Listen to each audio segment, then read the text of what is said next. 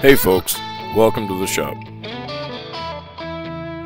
So my inspiration for this video is a tool that is as old as woodworking itself. A tool as old as time, the woodworker's mallet. So lately there's been a huge rash of videos addressing this topic, with subject matters as varied and numerous as there are types of mallets. So why do another one you ask? Well, the one constant I've noticed is that regardless of the type of mallet that they're building, they all seem to be addressing the same problem. The joinery. How to keep the end from flying off and whacking you in the noggin.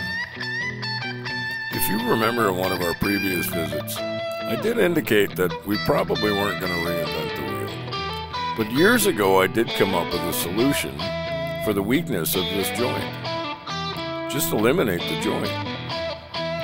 Now, over the years, I've lost track of how many of these that I've made for friends and family and gifts and giveaways. But I can honestly say that in all the years I've been building them this way, I've never had one fail. So, that said, this seemed like a great way to get rolling. I'm going to share with you my methodology for building the non-traditional woodworker's mallet. So the material that I've chosen for this product is hickory.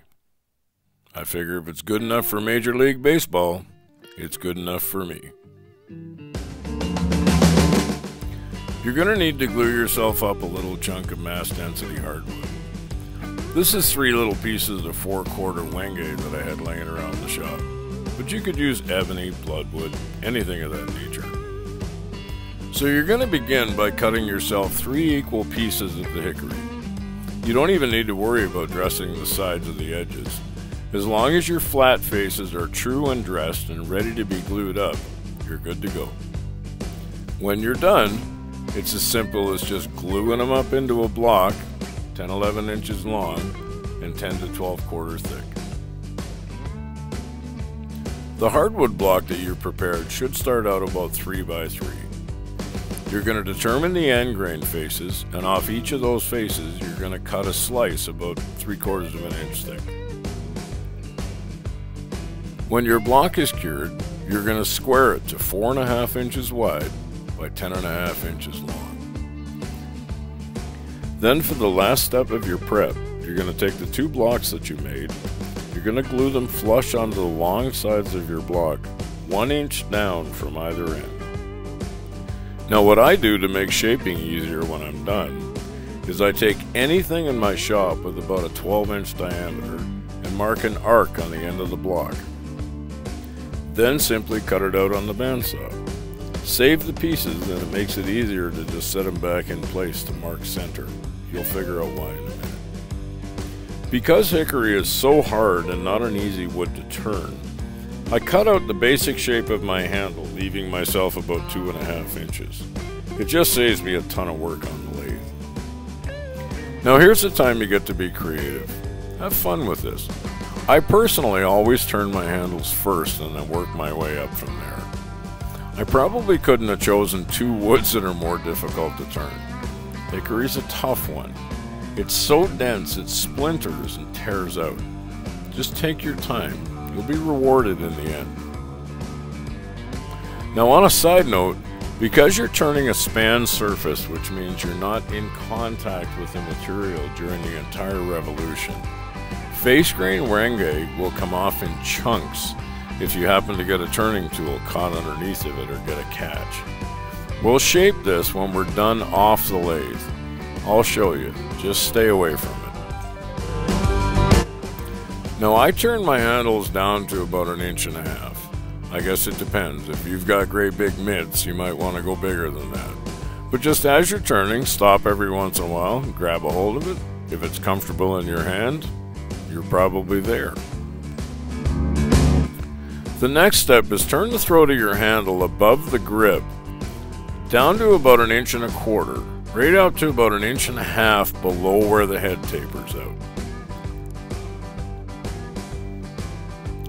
This should kind of give you an indication of the shape that I'm talking about. Take your time here, go slowly. The exact shape and dimension is not really that critical. The whole point is you're just leaving some extra mass to keep the weight up in the mallet head.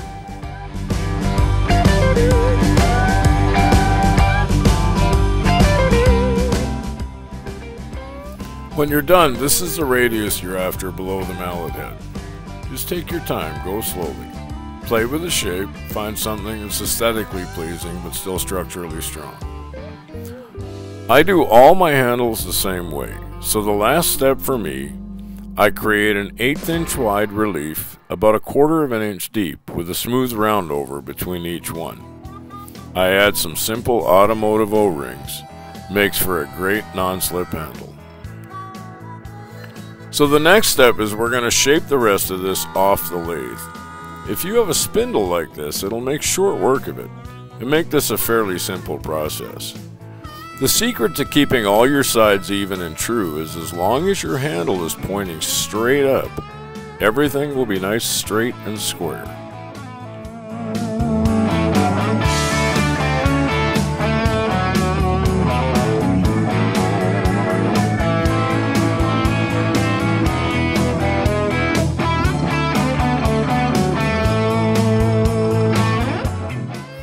When I'm finished shaping, I surface sand to around 600 and a light coat of antique or tung oil I find works great.